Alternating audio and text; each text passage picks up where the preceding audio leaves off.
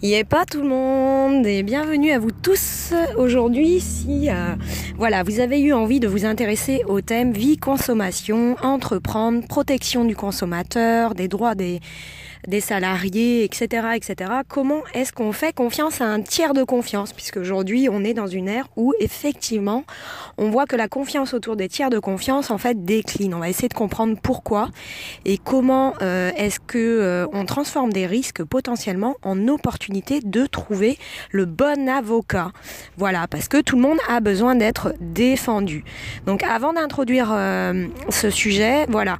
Donc moi, de par mon retour d'expérience et mes discussions un peu avec euh, différentes personnes et différentes classes sociales, on s'aperçoit que effectivement quand euh, les gens de bonne classe sociale en fait rencontrent euh, des difficultés, on va dire qu'elles sollicitent assez facilement en fait des avocats ou elles ont toujours euh, des avocats en fait dans leur relation. Donc voilà, on a l'impression que vivre avec un comptable et un avocat est devenu presque obligatoire pour se défendre.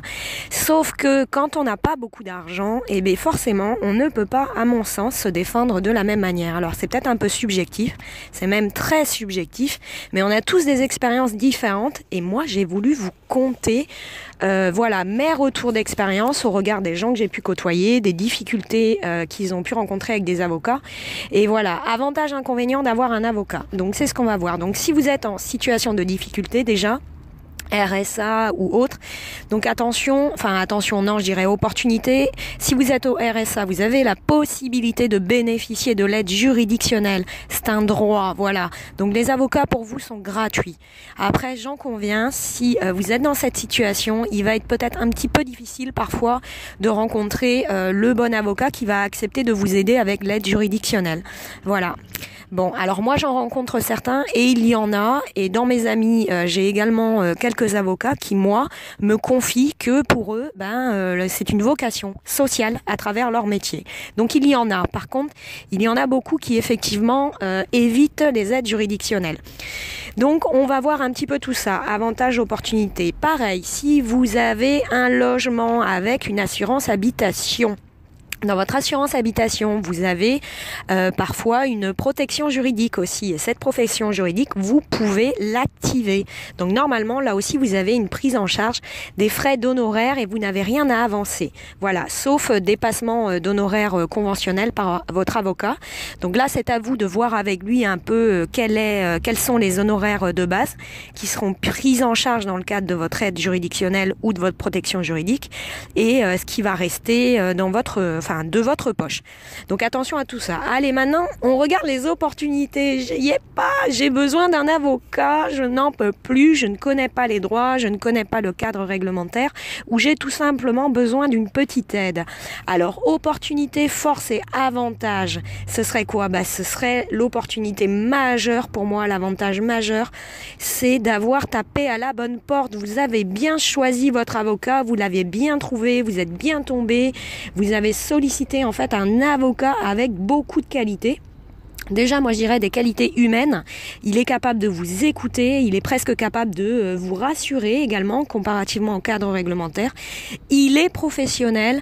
Euh, cet avocat en plus, il a l'expertise et le retour d'expérience au regard de votre besoin, parce que parfois vous pouvez avoir bah, des besoins généraux, on va dire les besoins autour du droit de la famille, du droit de la consommation, de l'emploi, du travail, euh, et puis après des choses un petit peu plus spécifiques autour bah, du droit de la création d'entreprise, la fiscalité euh, le droit international, si vous exportez, etc., etc. Donc une qualification peut-être autour de comment on entreprend, comment je crée, comment j'optimise ma structure, etc., etc., voire même du droit avec une expertise autour du droit digital et numérique, etc.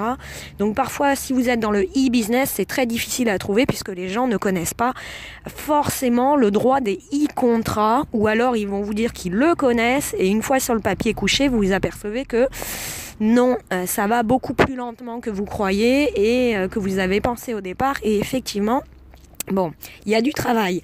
Donc si vous voulez vous épargner vous votre partie euh, de travail à réaliser, ben essayez de trouver l'avocat qui a l'expertise ciblée. Donc comme je vous le redis, quand c'est du droit général, généraux, on va trouver des avocats voilà autour de du droit de la famille, la consommation, du travail. Donc ça c'est facile à trouver, etc., etc. Mais est-ce que vous allez être bien défendu? Donc ça l'opportunité bien majeure, c'est attention, prenez votre temps, choisissez bien, trouvez le bon, le bon, euh, sollicitez un avocat avec les qualités que vous auriez potentiellement euh, besoin. Voilà. Être bien défendu en termes d'opportunités, de force d'avantage et avantage, c'est quoi? Bah Pour moi, euh, c'est mettre en place en fait un avocat qui voilà qui vous choisit une bah déjà qui a de l'éthique, qui a du, de la déontologie, puisqu'il y a des règles d'éthique et de déontologie. Et ça aussi, il y a un risque majeur. Ils ne l'ont pas tous. Attention aux données que vous communiquez. Normalement, les avocats sont censés ne pas communiquer à la partie adverse, mais euh, voilà.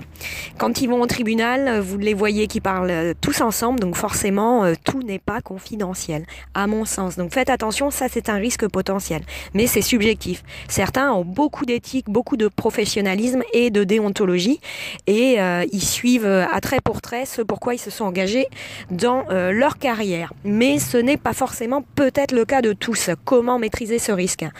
Donc la force, l'avantage, c'est, je vous l'ai dit, être bien défendu avec cet avocat qui, face à votre problématique, va vous proposer la meilleure des stratégies, la stratégie efficiente.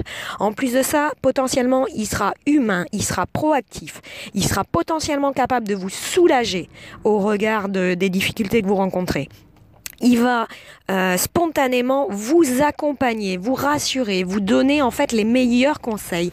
Il ne vous laissera pas tomber. Il ne pratiquera pas des honoraires exorbitants ou additionnels qui vous plongeraient dans une situation délicate à chaque fois que vous osez le solliciter parce que les conclusions ne sont pas rendues à temps et que euh, potentiellement euh, les instances, les audiences sont systématiquement reconduites.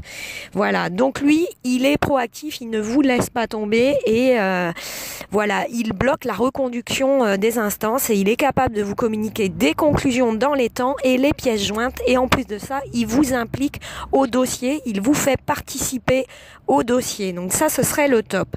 Donc ce tiers en plus, ce serait le top, ce serait une force et un avantage si vous arrivez à trouver ce tiers de confiance, donc un avocat qui prend en considération votre situation personnelle, c'est-à-dire qui vous conseille, voilà, en tant que personne, en tant qu'être humain également. Donc il peut aussi vous aider en fonction de votre situation. Par exemple, si vous êtes euh, au, RSA ou que vous avez des difficultés, vous avez perdu votre emploi, voilà.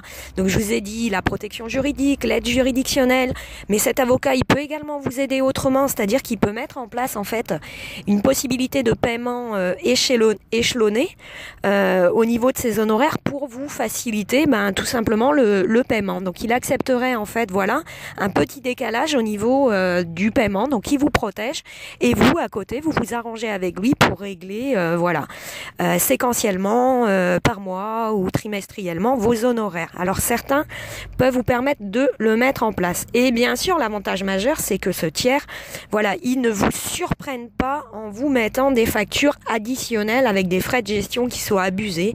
par exemple, des frais de gestion pour, comment on va dire,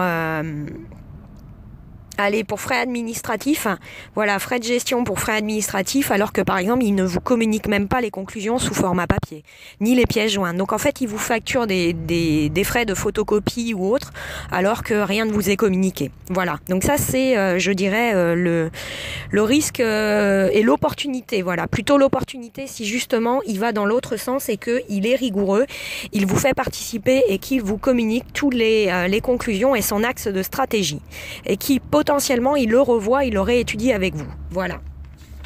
Alors maintenant, on va passer aux euh, menaces et aux risques majeurs, je dirais, aux faiblesses. Alors moi, je dirais que la faiblesse majeure, c'est ne pas avoir fait le choix euh, du bon avocat et trouver un avocat qui n'a pas d'éthique et de professionnalisme. Voilà, c'est peut-être potentiellement euh, un avocat qui va aller, vous êtes dans une situation difficile, vous avez eu quelques indemnités et en fait, cet avocat va aller se servir sur le compte Carpa. Le compte Carpa, c'est un compte, on va dire, qui vous est attribué, donc mis en place euh, ben, par, euh, par le tribunal, on va dire. Et sur ce compte, ce compte, il est personnel, il est à votre nom et tous vos indemnités ou autres liées à vos préjudices, en fait, sont versés sur ce compte. Alors le risque majeur, ce serait que vous, vous soyez dans une situation très délicate depuis très longtemps, que vous attendez pour toucher un petit peu d'argent, pour sortir la tête de la situation dans laquelle vous êtes. Et en fait, votre avocat, lui, se sert avant vous sur ce compte CARPA. Ou alors il se sert sans même vous dire que euh, vous, euh, vous avez la possibilité de toucher votre argent. Ou alors il se sert d'abord et là aussi, en fait, il ne se presse absolument pas pour vous vous restituer votre chèque. Voilà. Donc ça, ça vous plongera dans une situation difficile.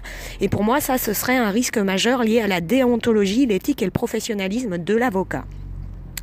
Puis après, en fait, je dirais, euh, risque majeur, c'est là aussi, c'est plus la personnalité et du coup des problèmes parfois d'éthique, de déontologie et de professionnalisme autour de vous n'avez pas fait ou je n'ai pas fait le bon choix d'avocat. On n'a pas fait le bon choix d'avocat. Voilà. Et vous avez pris le risque en fait de lui avoir communiqué l'ensemble des éléments de votre dossier.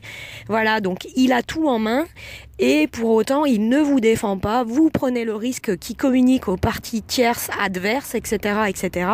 Une fois qu'il a tout en main, il en profite pour euh, vous communiquer des, factures additionnelles, etc., etc. Des devis d'honoraires qu'on va dire libres, très gonflés. La problématique des avocats, c'est qu'en fait, vous pouvez solliciter des avocats qui vont vous demander euh, des conventions d'honoraires à 1000 euros en fonction de la problématique. D'autres vont vous demander 2000, d'autres vont vous demander 5000, 8000, d'autres vont vous demander 25 000. Donc c'est vraiment très très très variable. Donc il faut faire attention à la justification des frais d'honoraires. Est-ce que c'est justifié face à votre problématique? Est-ce que c'est justifié face à son expertise? Est-ce que c'est justifié face à l'accompagnement qu'il va mettre en place? Donc à tout ça, faut faire confiance. Et faut faire confiance et il faut bien choisir. Alors, après, il y a euh, un risque majeur, je dirais, lié euh, par exemple à l'éthique, le professionnalisme et le comportement, la psychologie de l'avocat également. C'est-à-dire que vous avez eu la chance de trouver et de choisir un super bon avocat. Au premier rendez-vous, deuxième rendez-vous, tout vous a paru super. Euh, il paraissait prêt à vous défendre, il connaissait, il disait connaître exactement l'expertise dont vous parliez, etc., etc. Et malheureusement, en fait, vous apercevez dans le temps que silence radio, euh, l'avocat, vous ne l'entendez plus, il ne répond plus à vos sollicitations, il s'agace quand vous le sollicitez, il ne semble pas s'impliquer dans votre dossier, il ne semble pas investi dans le choix de la meilleure stratégie, etc., etc. Et là, on revient à la problématique numéro un que je vous disais, c'est que vous n'avez pas choisi le bon avocat, vous lui avez communiqué l'ensemble des pièces matérielles, vous n'avez pas conservé copie euh, des euh, originaux de ces pièces matérielles, vous décidez de solliciter un autre avocat et là, problème euh, pour avoir le dossier puisque il tarde à les communiquer, à communiquer les éléments du dossier à l'autre avocat ou alors il ne les communique pas du tout. Voilà. Et l'autre avocat n'a pas non plus pour vocation de les solliciter, donc vous êtes bloqué. Vous avez perdu tous les éléments de preuve matérielle de votre dossier parce que vous avez fait le choix du mauvais avocat. Donc c'est un risque potentiel, je dis. Voilà. Après, on a euh, un autre risque majeur, je dirais, c'est ce tiers ne possède pas la maîtrise confirmée de l'expertise qu'il prétendait. Alors, vous l'avez sollicité pour une expertise euh, donnée, il vous a renseigné sur euh, son niveau de qualification et son retour d'expérience au vu de cette expertise dont vous aviez besoin, et en définitive, il en est rien. C'est-à-dire que c'est vous qui passez votre temps à le renseigner, voire même le former sur la juridiction du problème pour lequel vous le sollicitiez. Voilà, ça, ça peut être l'exemple par exemple, pour des choses très spécifiques et d'expertise très spécifiques. Moi, euh, mon expertise autour ben voilà, des nouvelles technologies, de l'innovation, autour des fintech, de la crypto, euh, du blockchain, etc., etc. Donc voilà, vous sollicitez un avocat qui vous dit oui, je connais, et en définitive, le téléphone sonne, c'est toujours vous qui le renseignez, et en plus de ça, il ose vous facturer des frais d'honoraires. Donc là, par contre, effectivement, ça devient un risque, je dirais, ou une faiblesse, parce que déjà d'un, vous perdez de l'argent, il vous fait perdre du temps et en plus de ça, potentiellement, il ne sert à rien. Et potentiellement en plus, il est susceptible de communiquer tous vos éléments de dossier à des tiers. Voilà.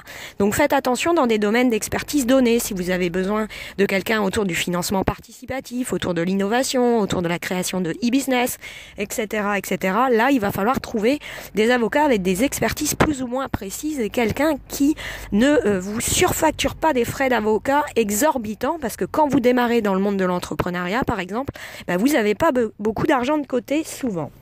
Donc il faut tâcher d'économiser cet argent et de bien l'utiliser. Donc voilà.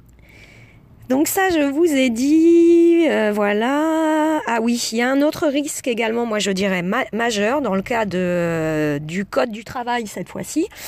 Donc vous venez solliciter un avocat parce que vous êtes euh, salarié, vous étiez salarié, euh, il y a un désaccord au travail, ou alors vous étiez en CDI et du jour au lendemain, ben euh, l'entreprise décide de se séparer de, vous.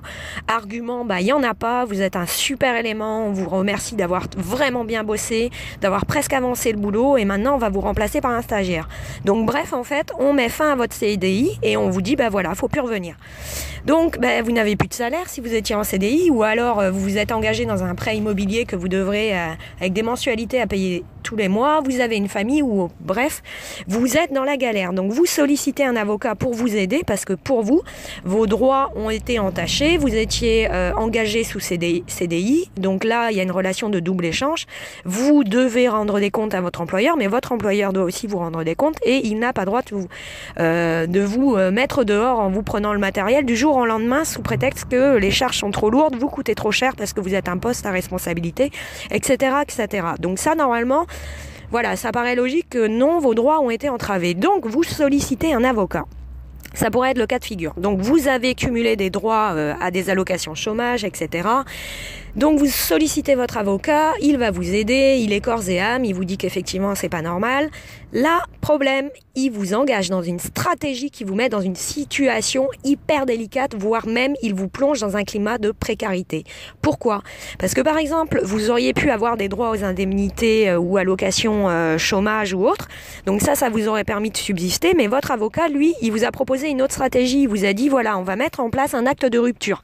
Très bien, donc vous écoutez votre avocat, vous mettez en place cet acte de rupture. Sauf que dans la stratégie qu'il vous propose, vous perdez le bénéfice bénéfice des allocations chômage puisque c'est vous qui quittez la structure. Donc dans ce cas de figure un peu précis, c'est pour vous donner un exemple pratique de ce qui pourrait faire que vous êtes dans une situation précaire. Donc par cette stratégie mise en place, vous ne bénéficiez pas de vos allocations, vous n'arrivez plus à payer votre loyer, vous n'arrivez plus à payer les frais d'avocat qui s'accumulent parce qu'en définitive les audiences sont systématiquement euh, euh, reconduites et que la défense tarde toujours à être émise par votre avocat, c'est-à-dire que quand vous lui demandez les conclusions et les pièces jointes aux conclusions, bah, il vous envoie des factures additionnelles parce que vous osez lui le demander et que malheureusement, mais voilà, vous vous engluez, vous vous engluez, les instances sont reportées, voire même le risque majeur majeur, c'est un avocat qui se dessaisit de votre dossier, c'est-à-dire qui communique les conclusions euh, à la dernière minute. Pire que ça, il communique les conclusions à la dernière minute, donc pour l'audience au tribunal et en plus à la partie adverse. Et là-dedans, en fait, il met tout et n'importe quoi, c'est-à-dire qu'il communique plein de pièces jointes euh, à la partie adverse. Et la partie adverse, elle, bah, le problème, c'est que cette partie adverse a largement le temps, en définitive, bah, de préparer euh, et d'arguer sur sa défense, puisque votre audience a été reportée. Donc pendant ce temps-là, vous, il faut vous trouver un autre avocat qui va accepter de vous défendre. De vous défendre. Deux, il va falloir essayer de récupérer les éléments matériels de votre dossier. Trois, il va falloir repayer des frais euh, d'avocat supplémentaires. Et l'inconvénient majeur, en plus, c'est le risque majeur pendant tout ça, c'est qu'en plus l'autre partie adverse a largement le temps de se préparer puisque votre ancien avocat, euh, sous peut-être un petit peu de colère, a euh, pu euh, communiquer, on va dire, aller une soixantaine de pièces matérielles à votre dossier, largement communiqué à la partie adverse qui a largement le temps de se préparer en long, en large, en travers. Donc ça, moi je dirais que c'est un risque majeur. Tout est possible, bien sûr, ces cas de figure ne sont pas présents systématiquement, mais c'est une possibilité. Donc moi je vous dis attention, il faut prendre en considération que le fait de se défendre est un droit, euh, qu'il est important de se défendre, mais il ne faut pas perdre de vue que généralement pour se défendre, il faut avoir quand même de l'argent de côté.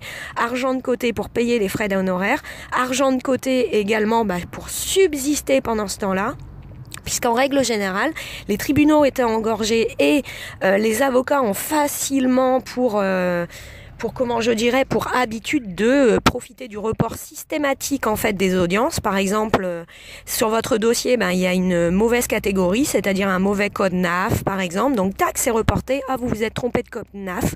Donc ça c'est reporté tout simplement parce que votre entreprise elle avait changé de code NAF entre temps, c'est-à-dire changé de convention collective.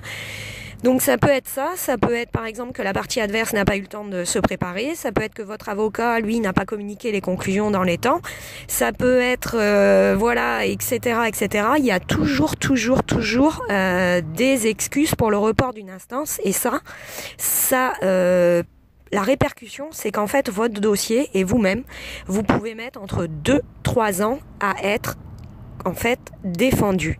Donc comment vous faites entre-temps Donc attention, c'est un élément à prendre en considération si vous souhaitez vous défendre, mais vous avez droit de vous défendre.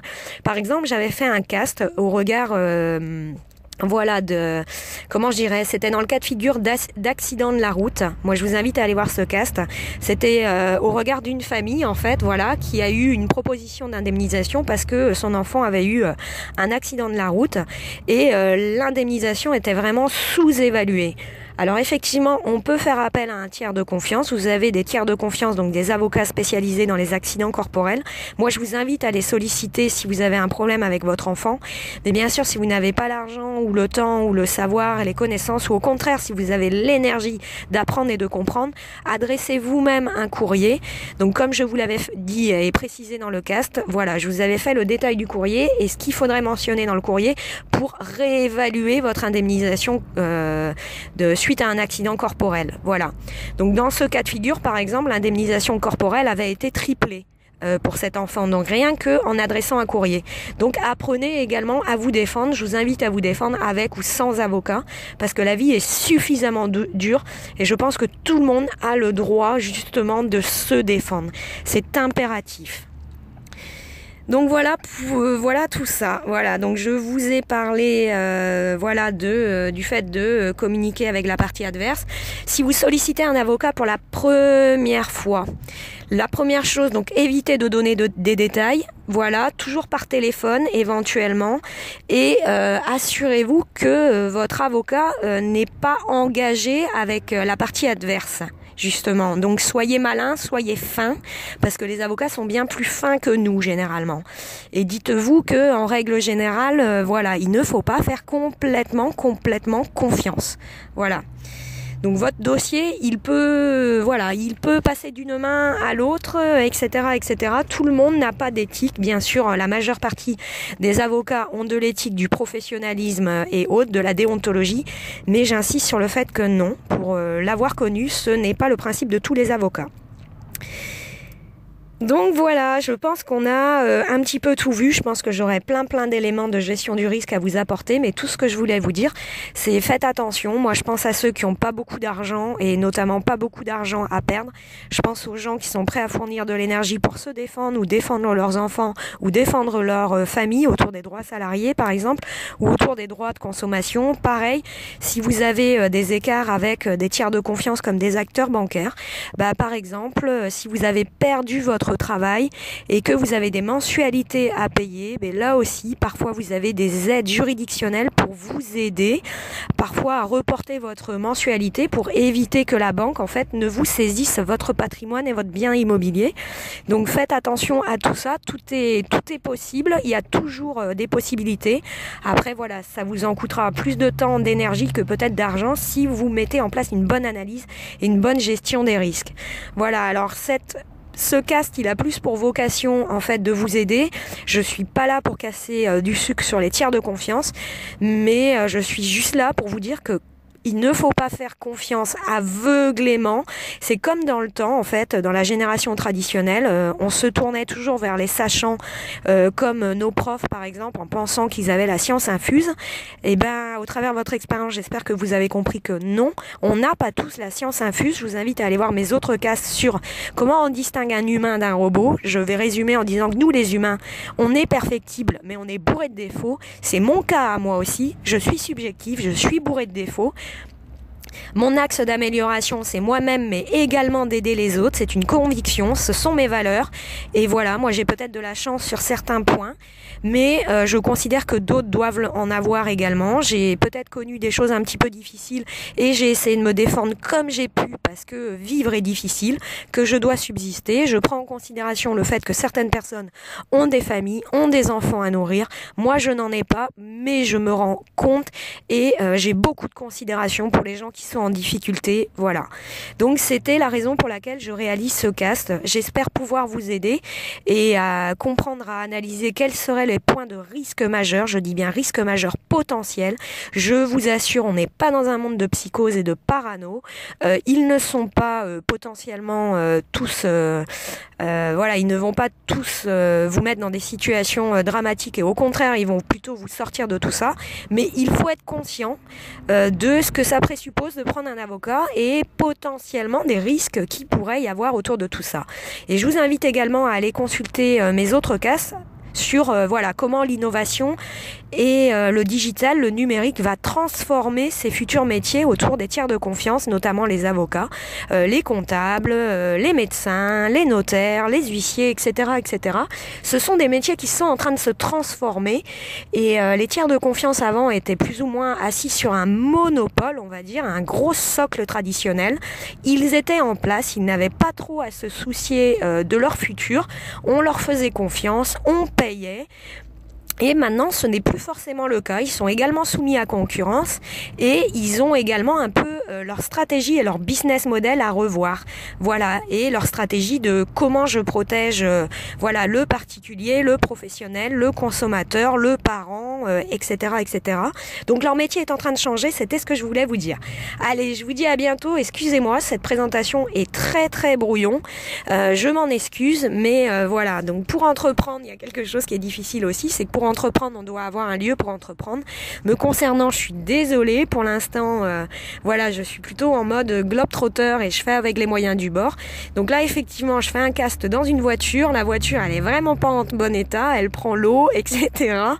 Et euh, en plus de ça, il y a beaucoup de voitures qui passent à côté. Donc vous devez avoir la qualité du son qui est pas top. Mais pour autant, tant pis, je prends mes responsabilités. C'est un risque, risque au niveau de ma crédibilité et autres. Mais c'est comme ça. Moi, je suis d'un, plutôt de voilà, je suis plutôt naturelle. Euh, je dis les risques, je dis les opportunités.